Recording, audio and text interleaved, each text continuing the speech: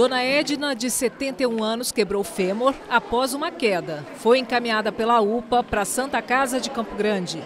Por enquanto, está no corredor. Assusta um pouquinho, mas como eu sei que ela vai para ortopedia, fico um pouco mais calma, mas apreensiva pelas outras pessoas que estão aqui, né?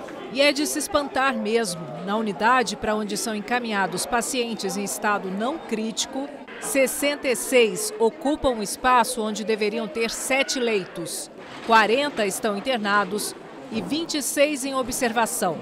Já na unidade crítica do hospital, com capacidade para seis leitos, 18 pessoas estão sendo atendidas neste momento, sendo 15 internadas e outras três em observação.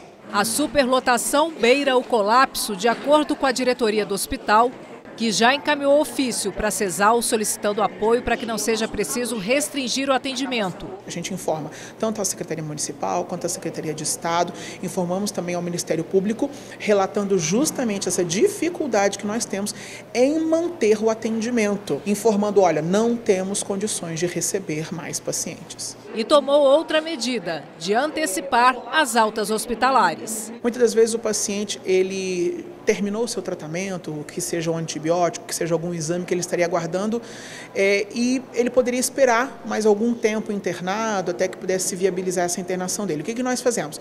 Nós acionamos através de serviço social, equipe de enfermagem, a aceleração dessa alta, fazendo com que ela ocorra, via de regra, ela ocorre por volta de 10, 11 da manhã, fazendo com que ela ocorra a qualquer momento do dia, para que ele possa ser liberado o leito e com isso nós conseguimos colocar outro paciente que esteja aguardando desse leito. Essa é a chamada alta oportuna.